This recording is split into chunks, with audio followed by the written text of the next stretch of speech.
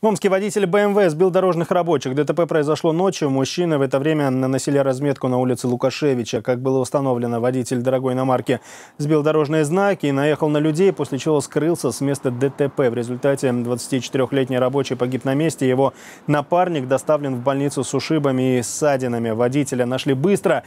Он а, заявил, а, что даже не понял, что стал виновником смертельной аварии. По его версии, якобы уронил телефон на пол машины и потянулся за ним. Почувствовал, что во что-то врезался, но решил, что это бордюр и просто уехал.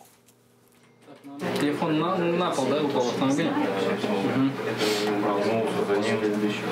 пока тянулся в этот момент, ну как качнул машину просто. И все, дальше поехал. Осмотр места происшествия показал, что Условия освещения на данном участке улицы Лукашевича были хорошие.